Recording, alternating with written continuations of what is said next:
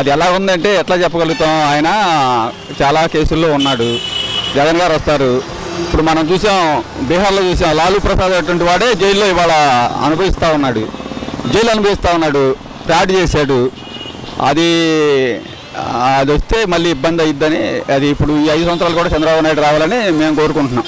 ఆయన పరిపాలన మేము చూడలేదు కదా సార్. మరి చూద్దాం. జనాలు ఎటు గెలిపిస్తారు మనకైతే తెలియదు.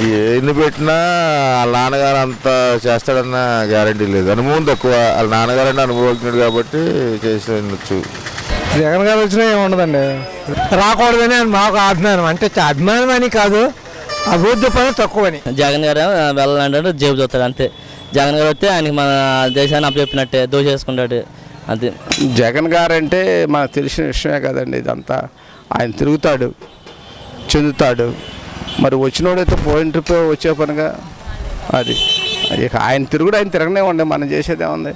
మన ఆత్మలో మనకు ఉంది ఏ- ఎవరు మంచివాళ్ళు ఎవరు కాదన్నది ప్రతి ఓటర్ హక్కుకి సమాధానంగా ఆడికి తెలుసు. అవినీతి కేసులో ఉన్న నాయకుడిని సమర్థించడం కరెక్ట్ కాదని చెప్పి మేము అనుకుంటున్నాం. కాలేజ్ స్టూడెంట్ ఒక ఎఫ్ఐఆర్ ఉన్నప్పుడు కాలేజ్ కాలేజీలో సీట్ ఇవ్వట్లా.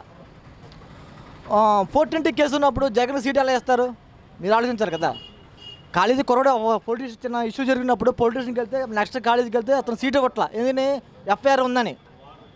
మరి అలాగా మరి జగన్ కేసులు ఉన్నప్పుడు కూడా అతను ముఖ్యమంత్రి పదవికి ఎలా అంగీకరిస్తారు? అది మనం కూడా దృష్టిలో పెట్టుకోవాలి. ఇప్పుడు జగన్ ఉన్నారు అసెంబ్లీ సమావేశాలు ఉన్నప్పుడు అతను పట్టించుకున్నాడా? అసెంబ్లీ సమావేశం అనేది ఇది ఒక గుడి లాంటిది. ప్రజల కష్టాలు తెలుసుకొని మాట్లాడాలి. ఆయన ప్రజాహితాలు చేసుకుని వెళ్తున్నారు కానీ శుక్ర శుక్ర కోర్టుకి వెళ్తున్నారు.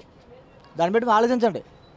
శుక్ర శుక్ర కోర్టుకి వెళ్తున్నారు. అది అతని పర్సనల్ విషయం అది. ఏం జరిగినా మనకు తెలియదు అసెంబ్లీ అనేది ఒక దేవాలయం ఉన్నప్పుడు కాబట్టి కష్టాలు ప్రజల కష్టాలు తెలుసుకొని అధికార పార్టీ మీద డిమాండ్ చేయాలి. మా కష్టాలు ఎలాగ ఉన్నాయి? మా ఇలా చేయాలి? ఆయన చేయట్లే. అసెంబ్లీ అసెంబ్లీలో ఉన్నప్పుడు కూడా అసెంబ్లీ సెషన్ జరిగినప్పుడు ఆయన ఉన్నాడా? లేడు. ఓట్ల మీద తిరుగుతున్నారు. ఆయన జన యాత్ర కాబట్టి సరిపోద్ది.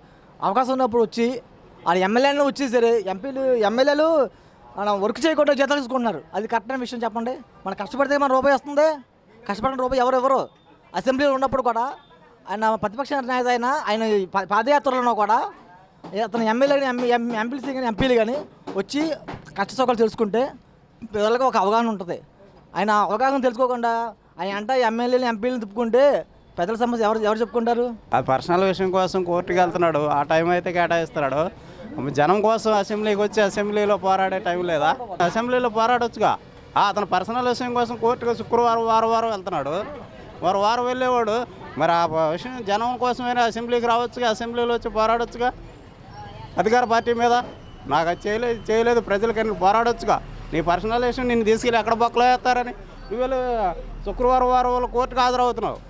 ఇక్కడ జనం పోతే పోయారులని నువ్వు పాదయాత్ర ఎదురుగా భవిష్యత్తు వస్తుంది నేను ఏదో భవిష్యత్తులో చేద్దామని ఇప్పుడు నేను ఆన్ చచ్చిపోయిన కానీ ఏదో యాత్ర చేస్తాం ఏదో ఉత్తరిద్దామని. ఏం చేసావు? జనానికి ఏం చేసావు? అదే తెలియాలి కాబట్టి జనం తెలుగు వస్తున్నారంటే జనం ఎవరికైనా వస్తారు. ఇవాళ పవన్ కళ్యాణ్కి రావట్లేదా? ఎవడో కొత్త పార్టీ పెట్టినోడు ప్రతి ఒక్కరికి జనం వస్తారు.